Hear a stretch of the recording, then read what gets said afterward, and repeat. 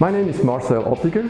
I'm a co-founder and CEO of Amphasys. We have developed a new technology capable of single-cell analysis. I'm excited to be part of Venture Leaders to accelerate our business in the United States. I can't wait to travel to Boston. Fun fact about me is paragliding is really a nice uh, sport that gives me the possibility to get new energy for the job that I do.